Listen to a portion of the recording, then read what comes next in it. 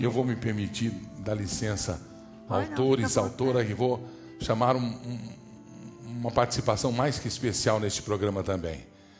Estive em Fortaleza e há quase 60 anos ele canta e encanta a minha geração e a geração dos meus pais e agora do meu filho e com certeza a geração do meu neto.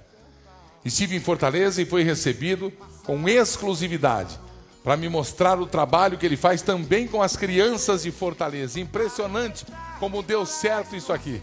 Ele trabalha com as crianças de Fortaleza com música. No sábado total, senhoras e senhores, um leão em minha casa. Senhor Raimundo Fagner.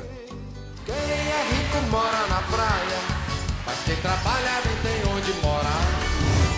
Quem não chora dorme com fome, mas quem tem nome joga no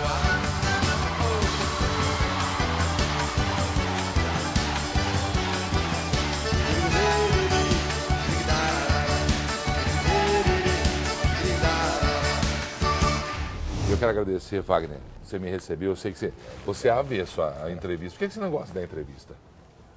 Ah, eu gosto da Você entrevista. gosta? Gosto, Os gosto. meus amigos falaram: olha, é raridade. Não, não. Raimundo. Eu adoro dar entrevista. Muitas vezes que eu bato muito, aí nego me evita. Mas não, não, não, não, tenha pudor, bata mesmo. Por falar em bater, o que, é que você está achando do, Brasil da Copa?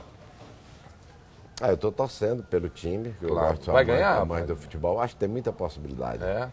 É, mas acho que dentro do campo a gente pode ganhar, mas fora nós já perdemos.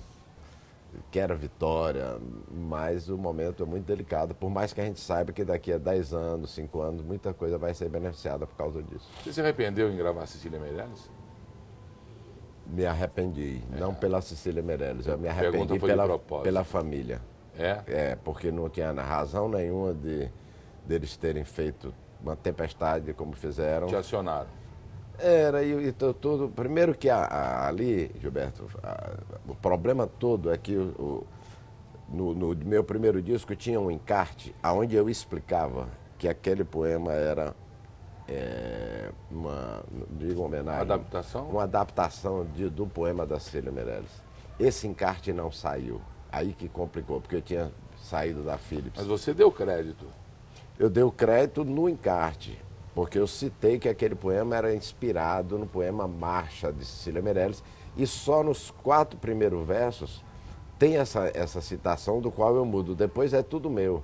Então, se tem saído o encarte, isso não, não teria trazido problema. Mas a gravadora estava brigada, eles também não se interessaram em, em me ajudar explicar. nisso, em trazer esse encarte. Então eu estava já no fogaréu, eles queriam me tocar fogo de qualquer maneira.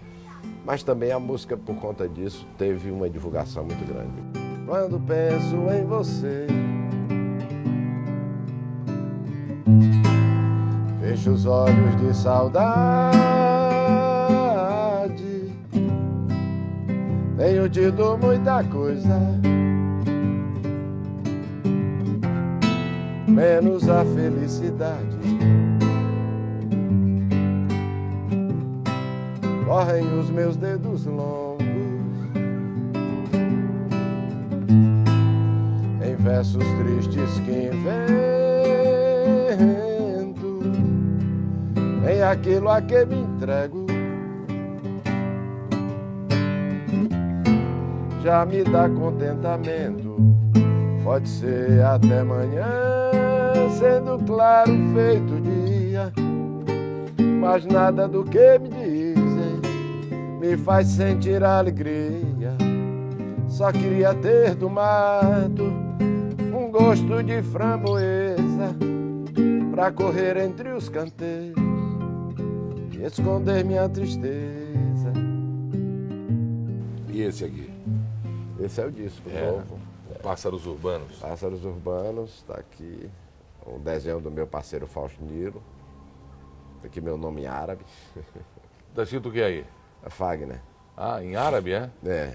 Raimundo, e, e a nova geração? A música popular do Brasil está indo para onde? Existe dois tipos de música que se faz no Brasil, ou seja, que se toca no Brasil. Uma é essa música mais descartável, que é a música dos movimentos. Grandemente, grandemente descartável. É, é grandemente descartável porque é uma, uma sucessão de figurinhas que Você não dá nem tempo de decorar Já um, o outra. outro já veio. E a outra é a elitização do João Gilberto. Todo mundo cantando baixinho. As FMs, então, são especialistas em botar música para no, no, no, espantar mosca. Tá entendendo? Aquela É música aquela que- toca e a música nem, É, nem é. se mexe. Então todo mundo hoje, tudo, principalmente as cantoras, todas são iguais. Todas estão aquele, aquele padrão de FM, padrão de qualidade, e que você muitas vezes não distingue quem é quem. Então tem esses dois lados, o lado mais brega, que é esse que passa rápido, e o lado mais intelectual, que é aquele da preferência dos programadores, diretores de execução de- da, da- da música de qualidade. Ela também, claro, tem as exceções, mas ela também virou uma sequência de coisas da mesma natureza e sem nenhuma indignação. Dia desse eu vi o Ney falando isso Mato Grosso. Ninguém solta mais a voz.